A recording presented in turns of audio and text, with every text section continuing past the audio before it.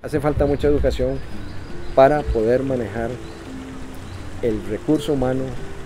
en armonía con el recurso natural. Pero yo veo que el, recurso humano mal manejado,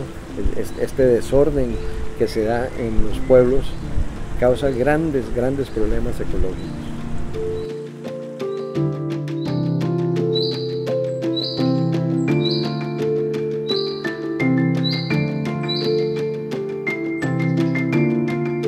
Hijo de padres este,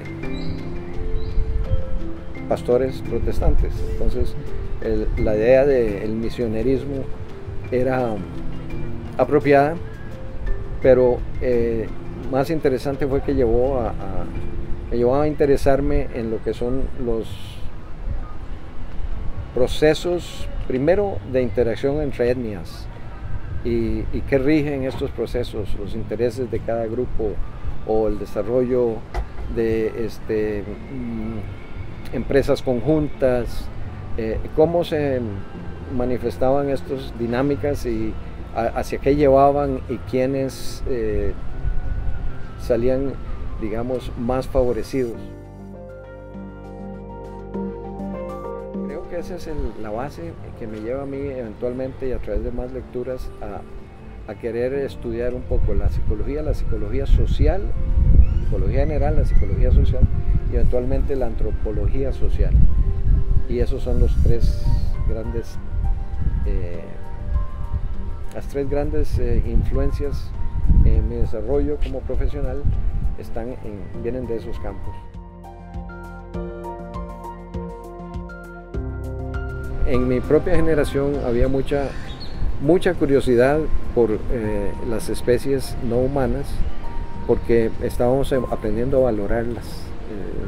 Em, aprendiendo el valor de, los sistemas ecológicos y, eh, y, reconociendo que no solo habían desapariciones, sino que a lo mejor nosotros teníamos algo que ver con las desapariciones y no tenía sentido en un mundo moderno este, simplemente darle la espalda al hecho de que estábamos haciendo tales daños que se desaparecían especies enteras.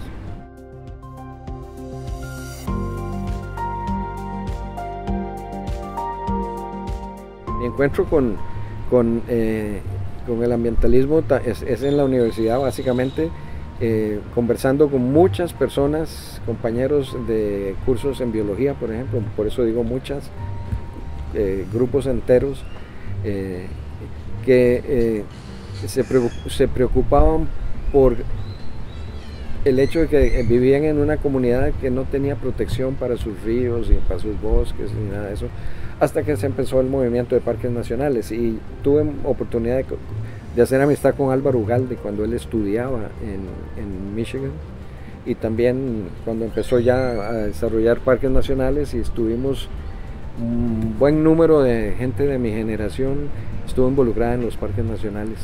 De manera que por ahí empezó mi interés y fácilmente llegué al CCT por, precisamente por las mismas personas y con el CCT hice muchos trabajos en, en la parte comunal, en la dimensión comunidad del desarrollo de áreas protegidas. En Cahuita, en, en Monteverde, en Puriscal, en La Cangreja, Parque Nacional Braulio Carrillo, todos esos han sido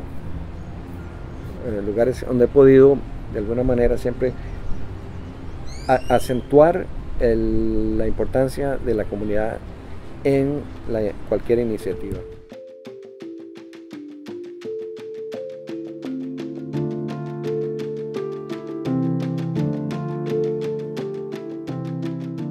Tenemos que empezar a pensar en cosas como el agua, que es un bien que tenemos muy presente en Costa Rica y, que lo tratamos con mucho descuido y que ya cada día se nos está haciendo más evidente que hace falta en algunas regiones. Para el futuro tenemos que empezar a pensar cómo hacemos más entrega a la comunidad nacional